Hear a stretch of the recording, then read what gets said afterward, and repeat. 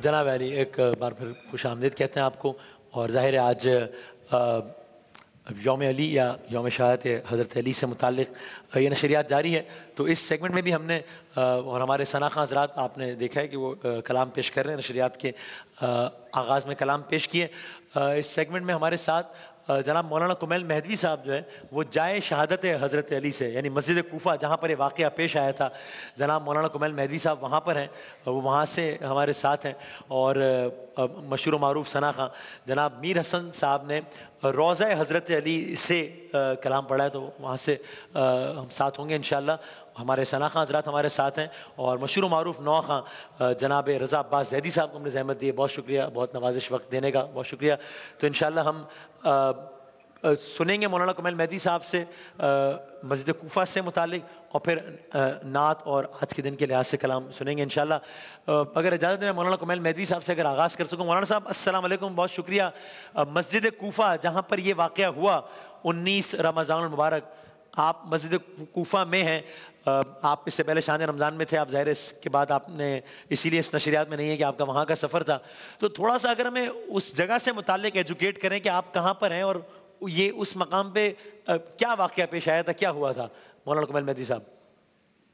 बसमीम रहीम इस वक्त मस्जिद कोफ़ा में हम आपसे मुखातब हैं, जहाँ शहादत गाह इमाम अली सलाम है।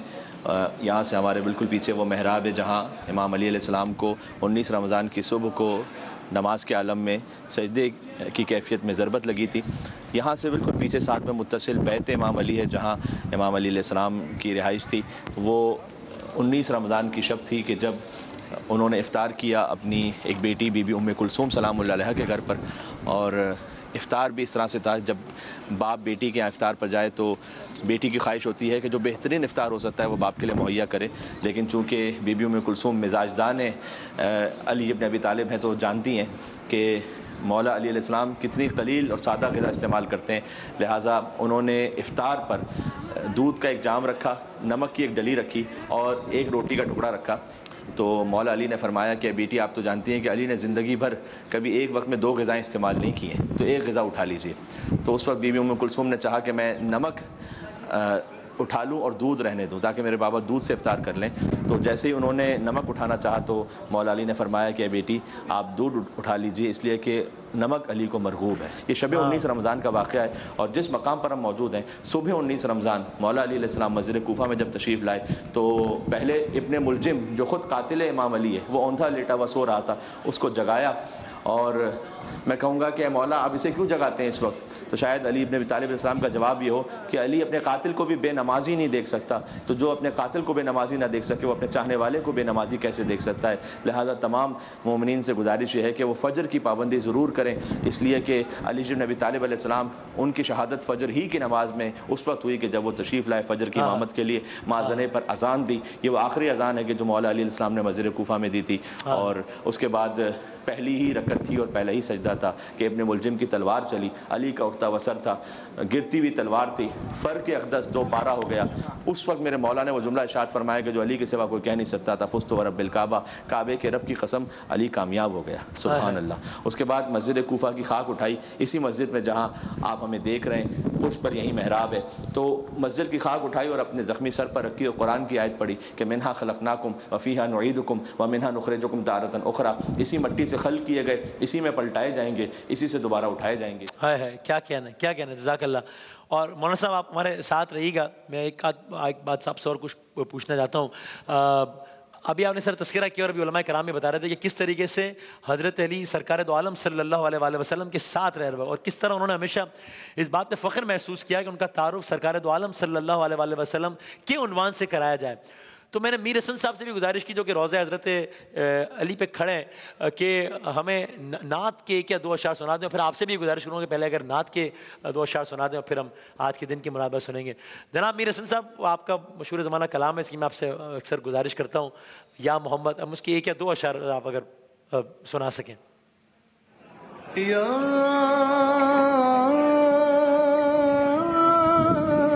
मोहम्मद या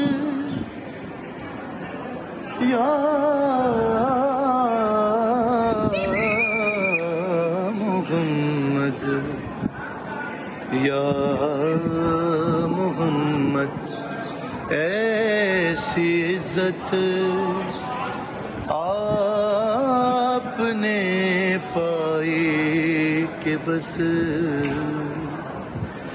की शबे असरा खुदा ने वो पजीराए के बस। या मोहम्मद या मोहम्मद। शेर नज़र कर रहा हूँ। और एक पल में मुस्तफ़ा को अर्श पर बुलवा लिया। एक पल में मुस्तफ़ा को अर्श पर बुलवा लिया। अपने बंदे की खुदा को ऐसी याद ऐसी याद आई कि बस, कि बस या मोहम्मद। और गिनते गिनते थक गई। हाँ, हाँ। तारों की नाजुक उंगलियाँ। सुभान अल्लाह गिनते गिनते थक गई। तारों की नाजुक उंगलियाँ। मुस्तफ़ा मुर्तजा के हैं ज़मीन पर। इतने शैदाई के सुभान अल्लाह सुभान क्या कहना है या सुभान अल्लाह क्या कहना है? जजाक अल्लाह सुभान अल्लाह रजा भाई अगर आप भी नात के हमें दो अशार सुना दें फिर हम आज की दिन की मुरादबत से कलाम सुनेंगे अगर बिल्कुल मैं नात के चंद अशार पेश क्योंकि हमारे बरदरान ये नात पेश करते हैं और उतना एक, एक समा बन जाता है तो मेरी ख्वाहिश आठ थी। साल का था जब मैंने ये नात पढ़ी थी जनाब माइल दिलवी साहब की और मैं नज़र कर रहा हूँ आज की इस महफिल अता हो अता हो। जबां पर मोहम्मद का हाँ। नाम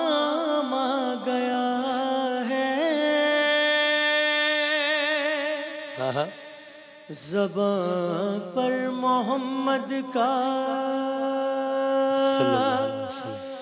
नाम आ गया है। वाह वाह। हमें आज लुत्फे तमाम आ गया सुभान अल्लाह, सुभान अल्लाह। सुभान अल्लाह हमें आज लुत्फे हाँ हाँ। तमाम आ गया वाह वाह। सुभान अल्लाह जबां पर मोहम्मद का। हाय हाय। वहाँ की ज़मीन ऐब से पाक समझो।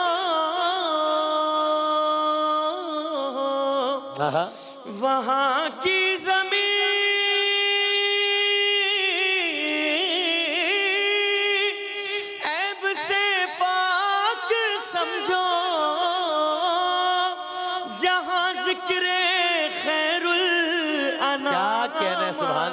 सुभान अल्लाह सुभान वाह वाह वाह।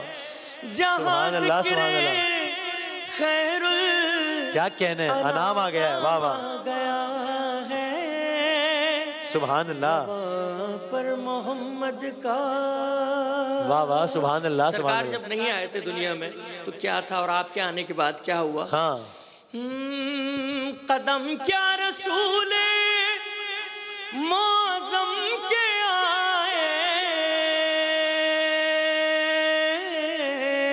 कदम क्या रसूल मौजम के आए। जहाँ में मुकम्मल निज़ाम आ गया है। क्या कहना है वाह वाह वाह। सुभान अल्लाह सुभान अल्लाह जहाँ में भाई क्या कहना है? सुभान अल्लाह निज़ाम आ गया निज़ाम आ गया है। भाई वाह वाह वाह। सुभान अल्लाह पर मोहम्मद का। सुभान अल्लाह मेरी भी ख्वाहिश है मक्ते में हम सब की ख्वाहिश होगी काश ये तमाम हमारे लिए हो जाए। हाँ हाँ। यही बस है माइल हाँ। हमें रोज हाय हाय भाई खूब पढ़ रहे हैं भाई क्या कहना है? हाँ हाँ। हमें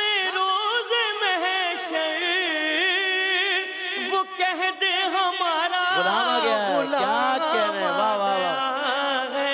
भाई फिर पढ़िएगा। सुभान अल्लाह सुभान अल्लाह। क्या यही बस है है हमें रोज महशर वो कह दे हमारा गुलाम आ गया सुभान अल्लाह सुभान अल्लाह।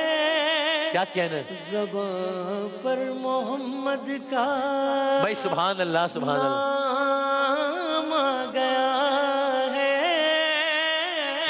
वाह वाह वाह क्या कह रहे हैं? आज लुत्फे हाँ हाँ तमाम आ गया है। वाह वाह। जबां पर मोहम्मद का सुबहान अल्लाह हमें भी लुत्फ आ गया भाई कलाम सुन के। क्या कहना है? सुभान अल्लाह सुबहान अल्लाह क्या कहना है? सुभान अल्लाह तो मैं इससे पहले कि रजा साहब आपसे गुजारिश करूँ कि आज के दिन की मुनाबत से कलाम पेश करें। मैं एक बार फिर मौलाना कुमैल मैदवी साहब, आप वहाँ सहन मस्जिद कोफा में अभी यहाँ आज के दिन की मुनाबत से कलाम पढ़ेंगे। उससे पहले मैं चाहता हूँ, हमने सुना कि हज़रत अली ने जब यह सारा वाक़ हो गया जो कि आपने बताया और मस्जिद कोफा में हुआ जहाँ आप बैठे भी हैं इस वक्त तो उसके बाद भी 19 से 21 रमज़ान के दौरान कुछ वसीयतें की मैं सोचता हूँ कि यानी वो कितनी अहम, उन, कितना अहम समझा होगा उन बातों को हज़रत अली ने, कि उस वक्त भी जब, यानी कि बिल्कुल जो वक्त आखिर था, तब भी अगर आप कुछ बातें कह रहे हैं तो उनको आपने कितना अहम जाना होगा। तो आखिरी वक्त में जो हज़रत अली ने जो कुछ वसीयत की, उनका अगर कुछ हिस्सा हमें आप बता दें तो बड़ी नवाजिश होगी। मौलाना साहब। मौला अली सलाम की वसीयतें जी जी जब उन्हें ज़रबत लगी तो कातिल को उनके इब्न मुलजिम को गिरफ़्तार करके मौला अली सलाम के सामने पेश किया गया तो मौला ने पहले तो उससे पूछा था कि बेसल इमाम क्या मैं तेरा बुरा इमाम था हाय। उसने कहा कि ए अली आप तो बहुत अच्छे इमाम हैं लेकिन जो खुद जहन्नम की तरफ़ जाना चाहे उसे कौन रोक सकता है हाँ। अशकल अवलिन वाल आखिरीन कहा उसे रसूल अल्लाह सल्लल्लाहु अलैहि वसल्लम ने यानी इस उम्मत का शकी तरीन इंसान वो है जिसने मौला अली सलाम को शहीद किया। और फिर करीम इबन करीम है अली इब्न नबी तालिब तो फरमाया इमाम हसन से कि अल्लाह तला इला आइने क्या बेटा हसन आपने इसकी आँखों में नहीं देखा कि बड़ा खौफ है?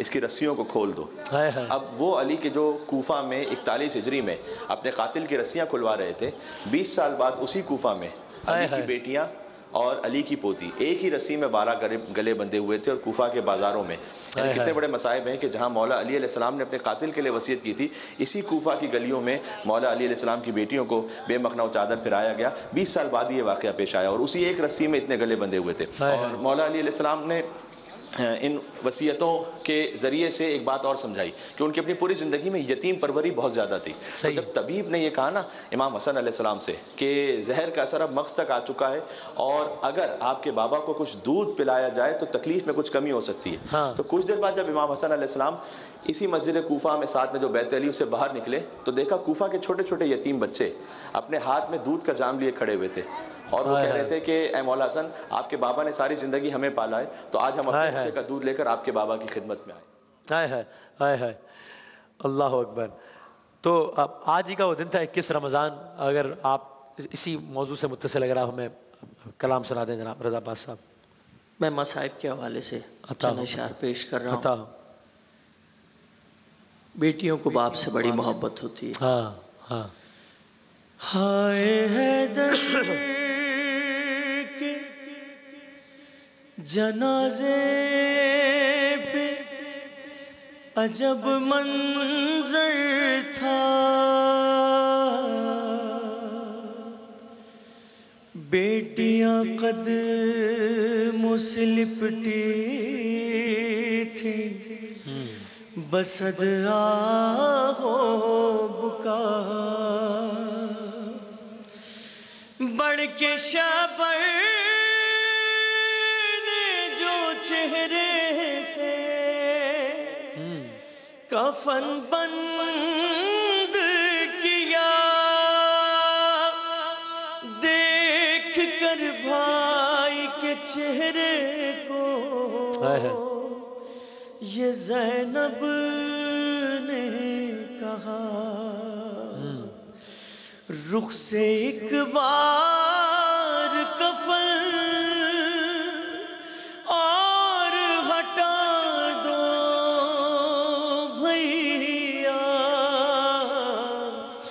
अरे मेरे बाबा का मुझे चेहरा दिखा दो भैया। आज बाबा जो मेरे घर से चले जाएँगे फिर मुझे शाम गरीबा में नज़र आएँगे अरे इतने दिन कैसे गुजारूँगी बता दो। भैया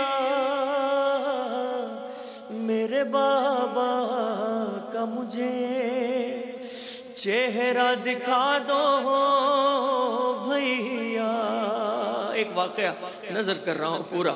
जनाब जैनब, छोटी सी है, पूरा मंजर देखती रसूल खुदा है फरमाया, बेटी जहरा, मैं बदन में ज़ौफ महसूस कर रहा हूँ, अपनी चादर मुझे उड़ा दे। जैसी बेटी चादर उड़ाती है, शिफा मिल जाती है। जनाब जैनब, इस मंजर को अपने बाप के जनाजे पे कैसे याद कर रही हैं? जैसे अम्मा किरदा में थी, शिफा क्या ये मुमकिन है कि उठ जाए? मेरे बाबा भी। अरे मेरी चादर मेरे बाबा को उड़ा दो। भैया, मेरे बाबा का मुझे चेहरा दिखा दो भैया। और खून बाबा की जबी से वो गिरा था जिस पे अपने बाबा की निशानी में बना लूँगी उसे। अरे मेरे बाबा मुसल्ला मुझे ला दो। भैया मेरे बाबा का मुझे चेहरा दिखा दो भैया। हमारा सलाम हो। मौला अब्बास पर बीबी उम्मुल बनीन पर। ये वो मौका है एक दिन मौला अब्बास को बीवी ने बुलाया बेटा तूने आज क्या कह के बहनों को मुखातिब किया है? शहजादी को क्या कह के बुलाया है? मौला अब्बास ने कहा छोटे से मौला अब्बास कहते हैं अम्मा मैंने बहन कह के पुकारा है। बीबी ने फरमाया बेटा याद रख मैं जैनब कुलसूम की कनीज़ बन के इस घर में आई हूँ। शहजादी कहना बहन मत कहना कभी। बस बाप का जनाजा रखा है अपने भाई को कैसे याद कर रही है शहजादी? गम में बाबा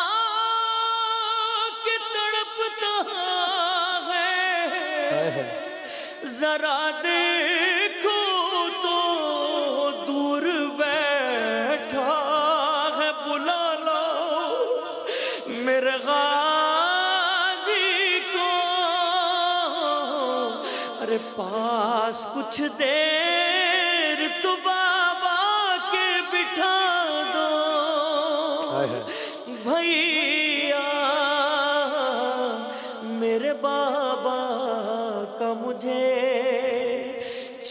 चेहरा दिखा दो भैया कैसे ये दिल गम से? फटा जाता है। अरे क्या जुदा बाप से होकर भी जिया। जाता है। अपनी बहनों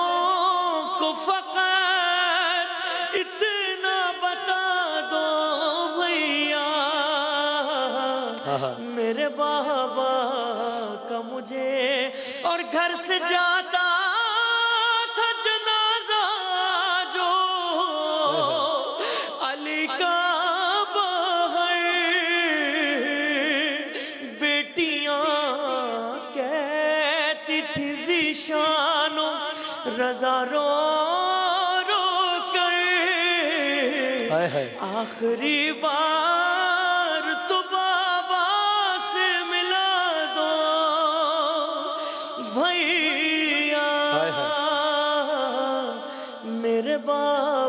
का मुझे चेहरा दिखा दो।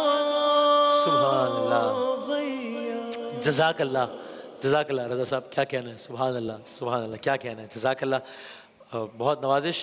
अल्लाह ताला तोफ़ीक़ात मज़ीद इजाफ़ा फरमाए इन और क्या कहना है? तो ये आज इक्कीस रमज़ान मुबारक के हवाले से आज की हमारी ये नशस्त अभी जारी है। एक वक्फे के बाद इन हम अपने आज के क्विज़ के सेगमेंट के साथ हाज़िर होते हैं, शान के साथ इन